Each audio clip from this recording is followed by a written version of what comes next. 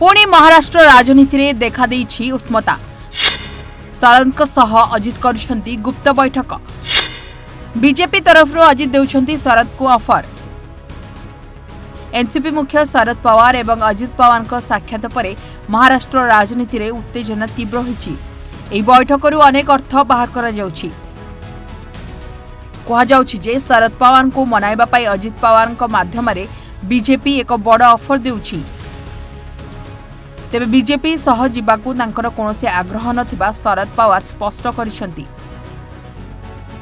ଶରଦ ପାୱାର ହୁଏତ ସ୍ପଷ୍ଟ କରିଥିବେ ଯେ ବିଜେପି ସହ ଯାଉଥିବା ଲୋକଙ୍କ ସହ ତାଙ୍କର କୌଣସି ସମ୍ପର୍କ ନାହିଁ କିମ୍ବା ମହାବିକାଶ ଆଗାଡ଼ିରେ କୌଣସି ଦ୍ୱନ୍ଦ୍ୱ ନାହିଁ କିନ୍ତୁ କଂଗ୍ରେସ ନେତା ତଥା ପୂର୍ବତନ ସିଏମ୍ ପୃଥ୍ୱୀରାଜ ଚୌହାନ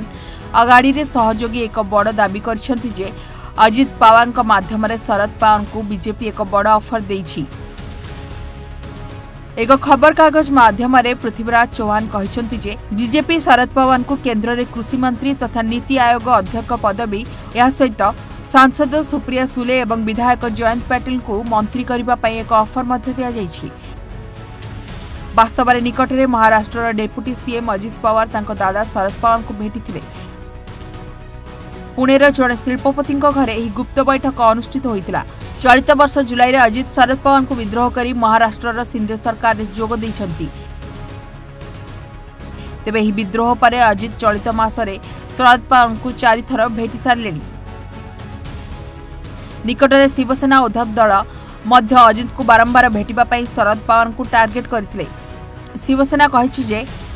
अजित पवार बारंबार शरद पवार को भेटा जाऊँ कौतूहर विषय हो शरद पवार कौन बैठक स्थगित करूना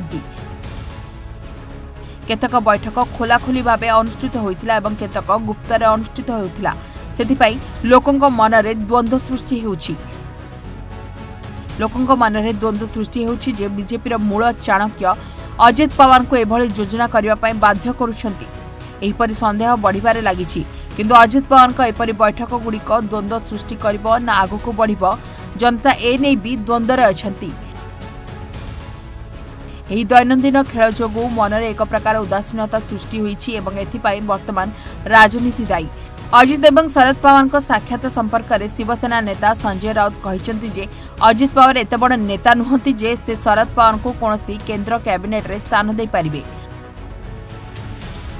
ଅଜିତ ପାୱାରଙ୍କୁ ପାୱାର ସାର୍ଟ ପ୍ରସ୍ତୁତ କରିଛନ୍ତି ଅଜିତ ପାୱାର ଶରଦ ପାୱାରଙ୍କୁ ପ୍ରସ୍ତୁତ କରିନାହାନ୍ତି ପାୱାର ସାହେବ ସଂସଦ ରାଜନୀତିରେ ଷାଠିଏ ବର୍ଷର ଅଧିକ ସମୟ ଅତିବାହିତ କରିଛନ୍ତି ଏବଂ ଚାରିଥର ମହାରାଷ୍ଟ୍ରର ମୁଖ୍ୟମନ୍ତ୍ରୀ ରହିଛନ୍ତି